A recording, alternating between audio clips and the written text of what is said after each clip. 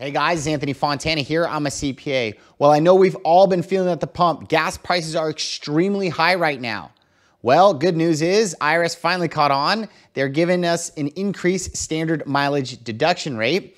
It is going to go from 58.5 cents a mile to 62.5 cents a mile.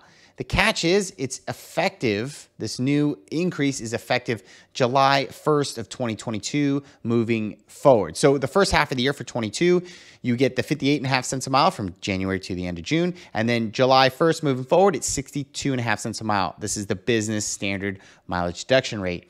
They did also increase the medical miles from 18 cents a mile to 22 cents a mile. Same thing in terms of like the half of the year, how that's effective. However, they did not increase the charitable uh, mileage, it's still stuck at 14 cents a mile. Not so sure why. Regardless, I think this is good in that most of these have increased to reflect what we're paying at the pump. Hope this video was helpful for you guys. If it was, you want some more updates with taxes, please subscribe to my channel, hit that like button. Thank you so much.